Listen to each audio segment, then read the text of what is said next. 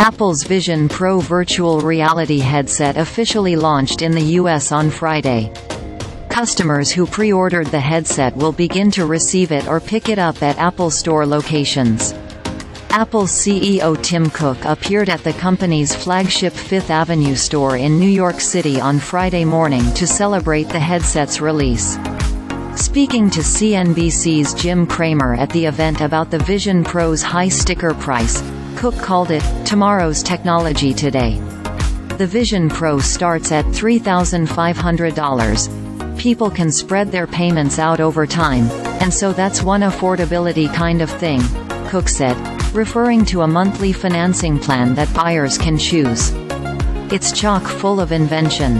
It's got 5,000 patents on it. We think we priced it at the right level considering the value of it, Cook added.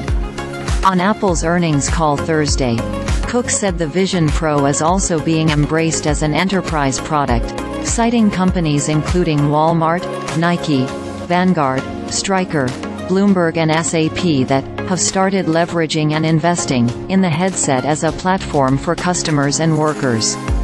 Still, Cook said Thursday that he believes Apple can remain both a consumer and enterprise-focused company going forward with the Vision Pro now among its offerings, considering the gadget's ton of use cases. He said more than 600 apps and games are available on the headset that are specifically designed to provide a spatial computing experience.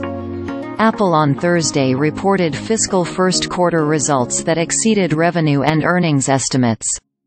Apple's wearables business, also known as other products, beat expectations but saw an 11% year-over-year sales decline.